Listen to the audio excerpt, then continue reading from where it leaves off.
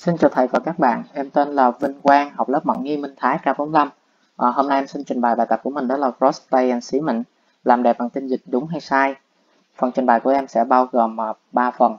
Thứ nhất sẽ là prostate, tuyến tiền liệt. À, chúng ta sẽ đi tìm hiểu về giải phẫu, chức năng của tuyến tiền liệt và dịch tuyến tiền liệt. ở phần thứ hai chúng ta sẽ nói về semen, tức là tinh dịch, à, các thành phần của tinh dịch, các chất dinh dưỡng có trong tinh dịch Phần thứ ba chúng ta sẽ đi làm rõ ý kiến và làm đẹp bằng tinh dịch uh, dưới góc độ của y khoa. Phần trình bày của em xin được bắt đầu. Thứ nhất đó là prostate gland, tuyến tiền liệt. Như vậy chúng ta biết tuyến tiền liệt là một tuyến quan trọng của hệ niệu sinh dục nam giới, không thành đôi, có hình trụ, hình dáng bên ngoài giống như hạt dẻ và nặng khoảng 30g, nằm ở dưới cổ bàng quang.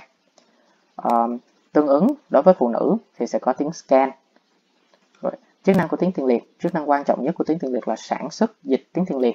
Và dịch này cùng với tinh trùng được sản xuất từ tinh hoa à, và dịch từ các cái tuyến khác sẽ tạo nên tinh dịch. Các cái cơ của tuyến tiền liệt cũng đóng cái vai trò quan trọng cho cái việc à, uh, xuất tinh ở nam giới đó là ép mạnh vào niệu đạo để tống cái tinh dịch ra ngoài. Ờ, như vậy thì dịch tuyến tiền liệt là gì? À, dịch tuyến tiền liệt là dịch được tiết ra bởi tuyến tiền liệt và nó chứa các cái thành phần tạo nên môi trường lý tưởng cho các tế bào tinh trùng sinh sống. Nó bao gồm các enzyme, kẽm, axit citric um, và các cái chất này nó giúp làm cho tinh dịch loãng hơn và nhiều chất lỏng hơn. Đây là một cái dịch cần thiết trong quá trình sinh sản. À, về bản thân dịch tuyến tiền liệt thì nó có tính axit nhẹ nhưng các cái thành phần khác của tinh dịch thì nó làm cho về tổng thể tinh dịch nó có tính kiềm à, điều này là để chống lại cái tính axit của âm đạo và bảo vệ tinh trùng khỏi bị hư hại. Phần thứ hai chúng ta sẽ nói về xí minh tức là tinh dịch. Như vậy tinh dịch là gì? À, tinh dịch là một cái chất dịch của cơ thể màu trắng đục và do tuyến sinh dục nam tiết ra.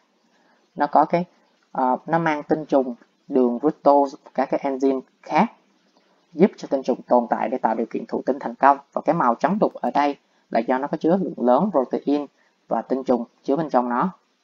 À, mỗi lần phóng tinh thì nam giới sẽ phóng ra khoảng 2,5 tới 3,5 ml tinh dịch và à, cái lượng tinh trùng thì nó là khoảng à, trung bình là 100 triệu tinh trùng trên 1 ml.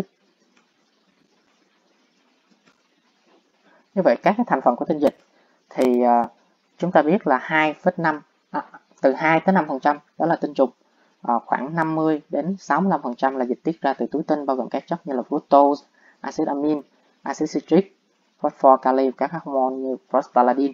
Ở trong đó thì quan trọng sẽ là prostaglandin bởi vì nó có cái chức năng như là một chất kích thích tử cung và ống vợ có thắt đẩy tinh trùng về phía trứng làm tăng tỷ lệ gặp nhau giữa tinh trùng và trứng tăng khả năng thụ tinh à, và một cái nữa là đường fructose nó đóng vai trò quan trọng trong việc tạo ra năng lượng cung cấp cho tinh trùng khoảng 20 tới 30% là dịch tuyến tiền liệt và tuyến hành niệu đạo. Và độ pH của tinh dịch thì từ 7 cho tới 7,5. Và đây là các cái chất có trong tinh dịch. Một số chất uh, ờ, điển hình như là kẽm, uh, acid uric, các cái hormone như testosterone, estrogen, uh, FSH, LH, prolactin, vân vân. Uh, từ đây chúng ta có thể khẳng định được tinh dịch là một cái hỗn hợp giàu chất dinh dưỡng như vậy câu hỏi đặt ra là tinh dịch có cách tác dụng gì khác lên người phụ nữ hay không? Hay chỉ đơn thuần chức năng của nó là chứa tinh trùng phục vụ cho việc duy trì nòi giống? À, như vậy thì trước tiên chúng ta phải biết là tinh dịch nó có thể đi vào cơ thể người phụ nữ thông qua những cái con đường nào trong quá trình quan hệ tình dục. Thì sẽ có ba con đường đó là đường âm đạo, đường hậu môn, ví dụ như là trong anal sex, à, đường miệng, ví dụ như trong oral sex. Vậy trước tiên đường âm đạo thì à, một cái à, nghiên cứu uh, từ Đại học State University ở New York thì cho thấy là tinh dịch có một cái vai trò như là chất chống trầm cảm đối với nữ. Và giải thích cho vấn đề này bởi vì trong tinh dịch nó chứa các loại hormone có thể thay đổi tâm trạng. Uh, ví dụ testosterone, estrogen, oxytocin, prolactin, một số loại prostaglandin khác. Các hormone này nó có thể thấm vào máu thông qua cái thanh âm đạo và làm thúc đẩy tâm trạng của người phụ nữ thì ngoài ra trong tinh dịch còn chứa hai cái loại hormone đó là FSH và LH và đây là hai cái hormone quan trọng ảnh hưởng đến chu kỳ kinh nguyệt của người phụ nữ kích thích cái hiện tượng rụng trứng làm tăng khả năng thụ tinh. Tuy nhiên thì à, cái hàm lượng prostaglandin chứa trong tinh dịch nó khá là cao, cao gấp 1.000 lần so với lượng prostaglandin có trong các tế bào lát ở cơ quan sinh dục nữ. Có thể làm xấu hơn các cái bệnh lý uh, về sinh dục nữ bao gồm cả ung thư cổ tử cung.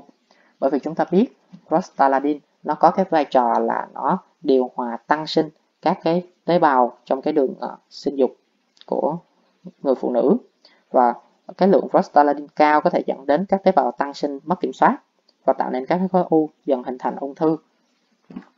Vì vậy mà các cái chuyên gia khuyên rằng người phụ nữ mà có nguy cơ ung thư cổ tử cung hoặc là có nguy cơ ung thư tử cung thì khi quan hệ tình dục nên mang bao cao su để hạn chế tiếp xúc với prostaglandin.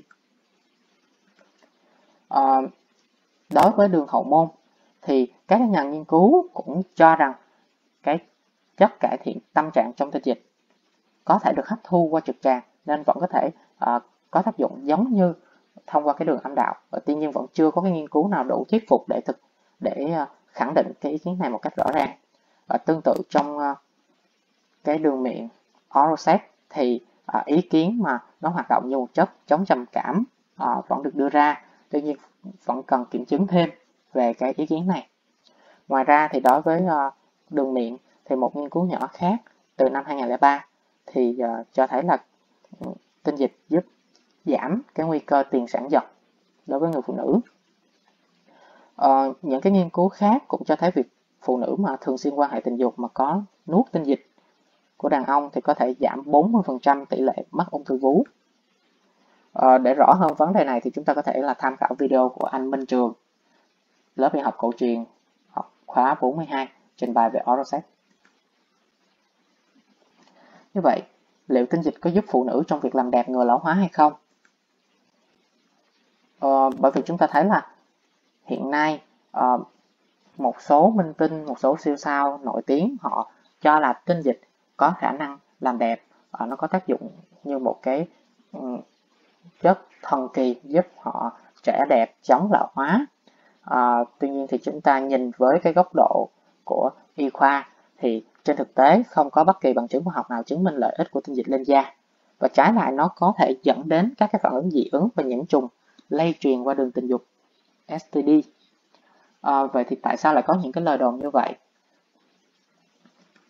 à, thứ nhất, một số lời đồn ví dụ như là uh, trong tinh dịch có nhiều protein tốt cho da và tóc.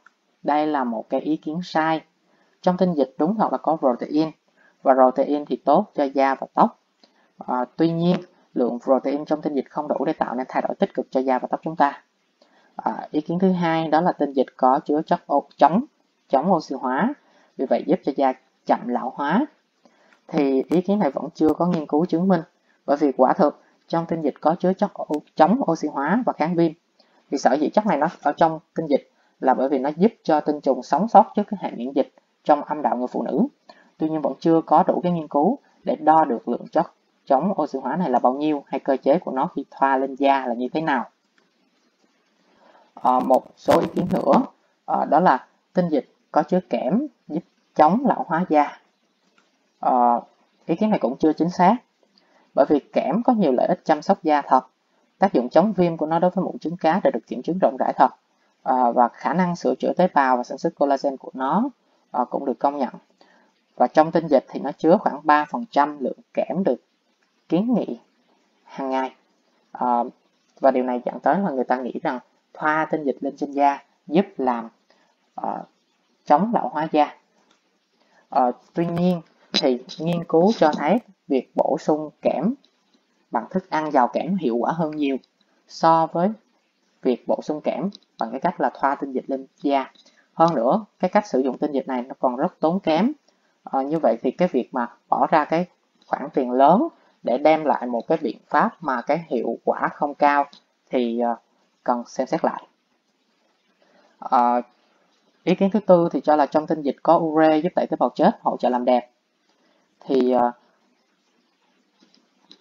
Ờ, chúng ta biết theo một nghiên cứu được công bố trên tạp chí Andrology thì tinh dịch nó chứa 0,45 mg trên ml ure và ure thì được biết đến với chức năng là ngậm nước tẩy tế bào chết nhẹ nhàng và giúp hấp thụ các sản phẩm chăm sóc da khác. nhưng mà các cái thương hiệu làm đẹp trên thế giới người ta sử dụng cái phiên bản tổng hợp thay vì là uh, tự nhiên và cũng giống như các cái nghiên cứu khác thì cái lượng ure trong tinh dịch không phải là cái liều lượng đủ cao để tạo ra cái hiệu quả đáng kể cho da của chúng ta và trái lại thì việc sử dụng tinh dịch làm đẹp có khả năng gây nhiễm da hoặc lây truyền các cái bệnh STD tức là sexually transmitted disease. Tóm lại uh, tinh dịch thì ngoài vai trò chứa tinh trùng phục vụ cho quá trình thụ tinh nó còn có các cái tác dụng khác lên cơ thể người phụ nữ. Ví dụ như là chất chống trầm cảm à, tăng khoái cảm kích thích rụng trứng giảm khả năng ung thư vú giảm nguy cơ tiền sản giật khi được tiếp nhận vào cơ thể người phụ nữ thông qua đường âm đạo hay đường miệng. Còn về à, đường hậu môn thì cần nhiều nghiên cứu hơn để chứng minh các cái tác dụng của nó. À, và bên cạnh các cái lợi ích đó thì tinh dịch cũng mang đến nhiều cái nguy cơ có hại ví dụ như là prostaglandin trong tinh dịch làm xấu đi các cái tình trạng bệnh lý ung thư cổ tử cung hay ung thư tử cung. Và ý kiến cho rằng tinh dịch có khả năng làm đẹp chống lão hóa đối với phụ nữ là chưa chính xác.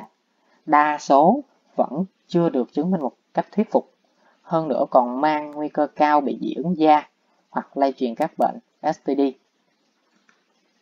Như vậy, việc bỏ ra một cái khoản tiền không nhỏ để thực hiện một phương pháp không chắc chắn về độ an toàn, an toàn không mang lại kết quả hoặc là cái kết quả thấp là không đáng.